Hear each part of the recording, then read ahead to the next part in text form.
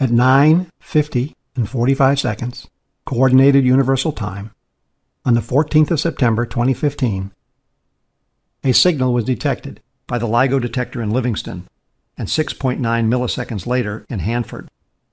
It was a chirp signal that lasted just over two tenths of a second. When we route the wave into a sound generator, here's what it sounds like.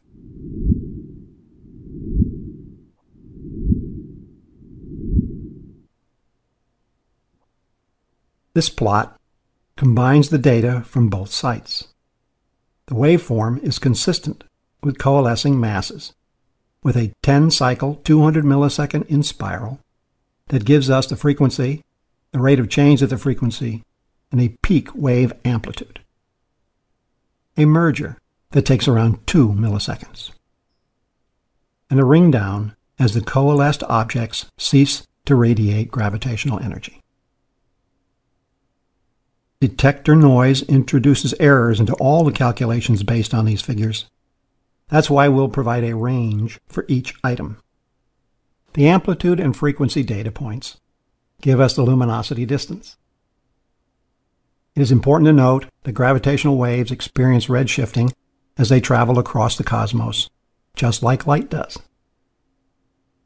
Having traveled around a billion light years, this wave would have experienced a redshift near 0.1.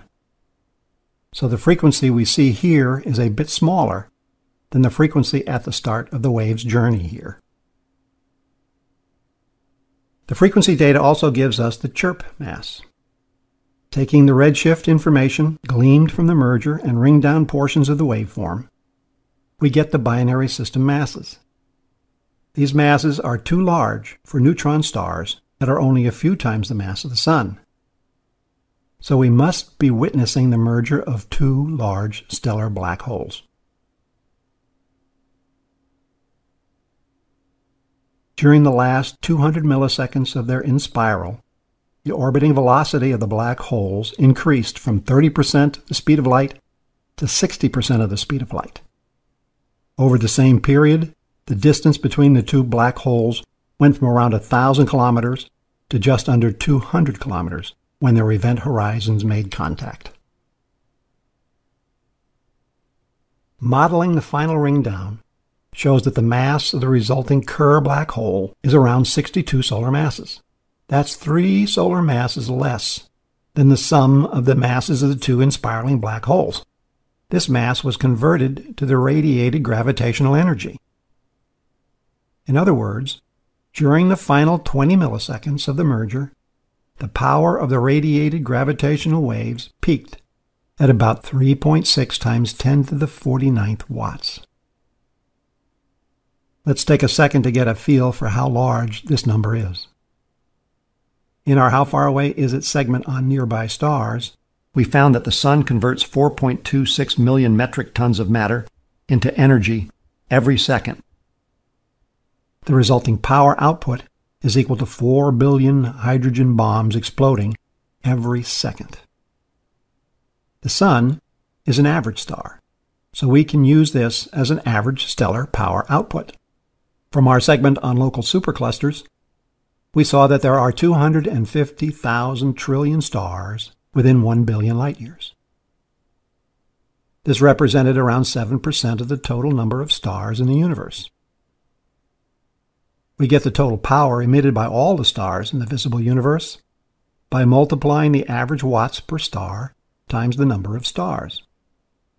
The power generated over the last 20 milliseconds by this merger of two stellar mass black holes is 26,000 times greater than the combined power of all the light radiated by all the stars in the universe over that same period of time. That's the signal we saw in September 2015, a billion years after it happened.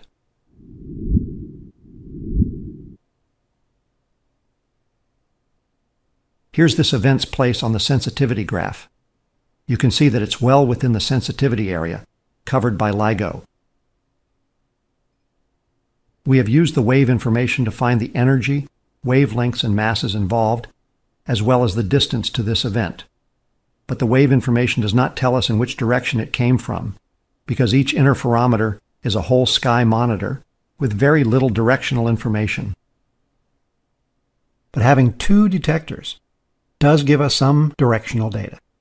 For example, if the wave came in parallel to the line between the two sites, the signals would have registered at the exact same time.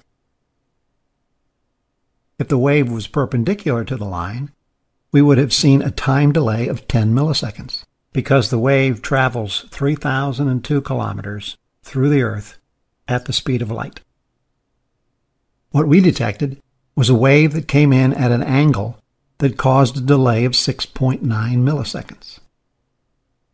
The dotted line represents the distance the wave had to travel or a piece of it to reach the Hanford interferometer.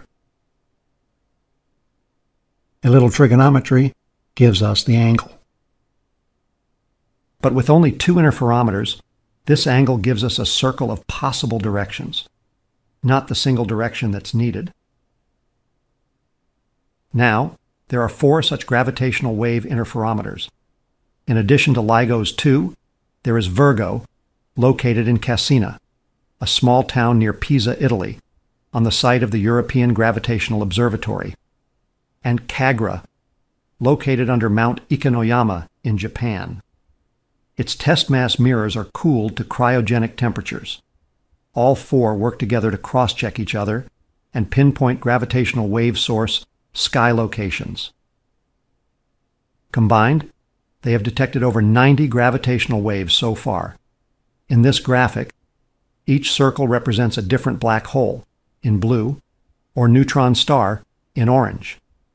The half blue, half orange circles are compact objects whose classification is uncertain.